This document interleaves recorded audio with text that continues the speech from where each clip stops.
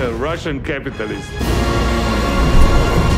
and an American communist. On a $250 million luxury yacht.